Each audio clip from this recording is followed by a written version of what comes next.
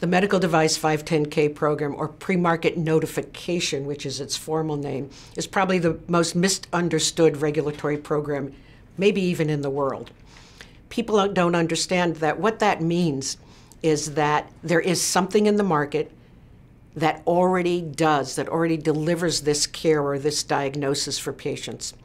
And another product is being designed to deliver the same care or to deliver the same diagnostic. And therefore, the the questions that are being asked before the new product goes into the market is how does it compare to what's already available? Is it as safe? Is it as effective?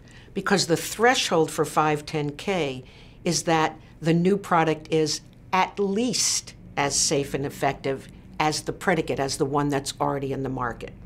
So the company that's making the new product has to do all the testing, all of the design work, all of the materials work, all of the bench testing to assure that their product is actually going to be as safe and as effective as the one that's already in the market.